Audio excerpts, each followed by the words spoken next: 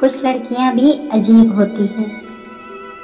चाँद की तरह ठंडक समेटे हुए, बिल्कुल नर्म नाजुक पतियों की तरह होती है। मोहब्बतों की आदि नफरतों से अनजान दुनिया में बसती है ये, जो ना जाने कितने गमों को अपने अंदर समेट लेती है।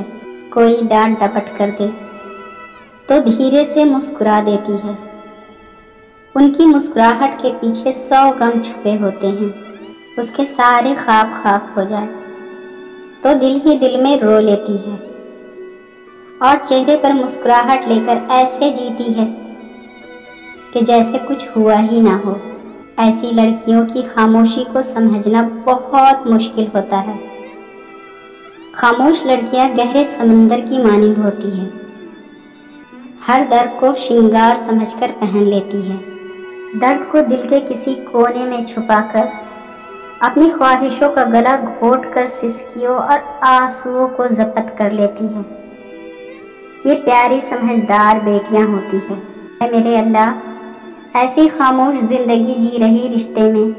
माँ हो, बहन हो, बीवी हो या बेटी, उनकी ज़िंदगी सुकून और ढेर सारी खुशियों से भर दे। आमीन।